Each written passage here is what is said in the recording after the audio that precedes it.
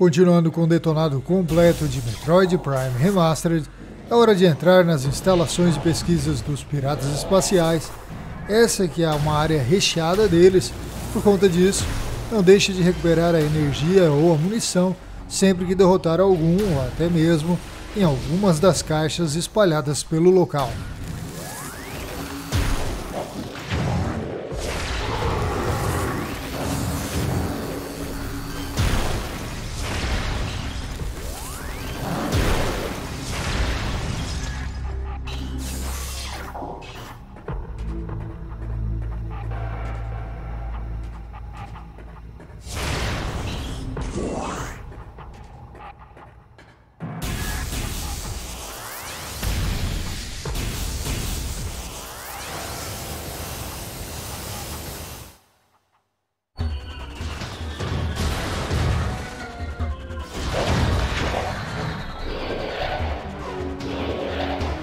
Wave Troopers são soldados de alto nível entre os piratas espaciais. Por conta de uma engenharia reversa, eles conseguiram preparar armamentos tão poderosos quanto de Samus. A cor dos equipamentos de cada soldado indica o tipo de arma que está usando, sendo que esse também será o seu ponto fraco.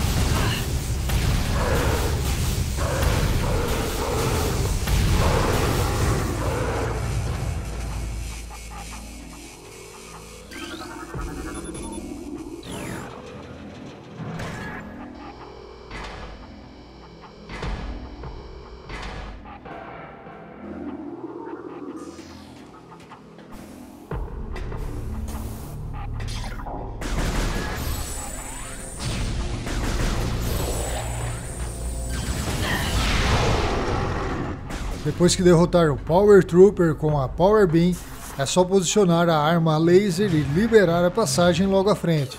Reposicione a mesma mais uma vez até a parede da esquerda para conseguir mais um expansor de mísseis.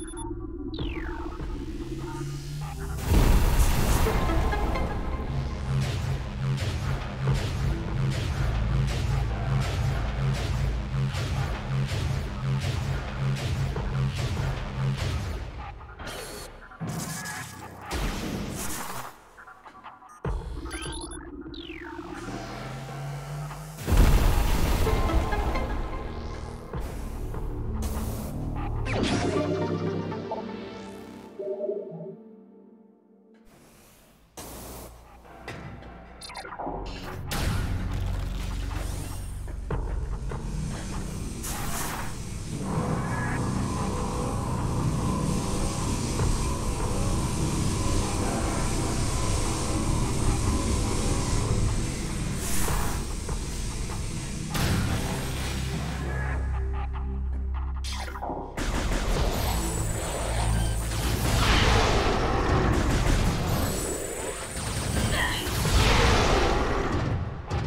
Nessa sala, os trilhos têm que ser alinhados de acordo com a cor. Azul leva ao primeiro andar, vermelho ao segundo e o amarelo ao último andar.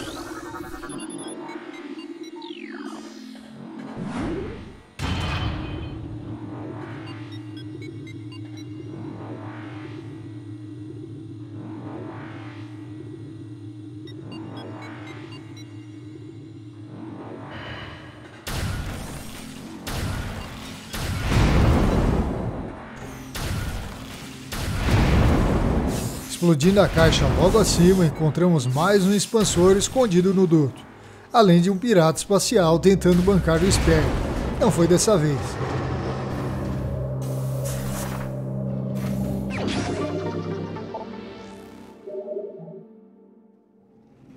E aqui encontramos um dos motivos de todo esse centro de pesquisas dos Space Pirates. Um pirata de elite modificado com energia Phazon que lhe garantiu um grande nível de força, sendo capaz de equipar armadura e armamentos pesados. Graças ao seu sistema de sifão de energia, ele consegue absorver ataques enquanto permanece em posição defensiva. Se manter uma boa distância e acertar sequências rápidas de mísseis, ou até mesmo alguns supermísseis, tudo vai estar acabado em questão de segundos. O grande pirata espacial pode até ser forte, mas está longe de ser invencível.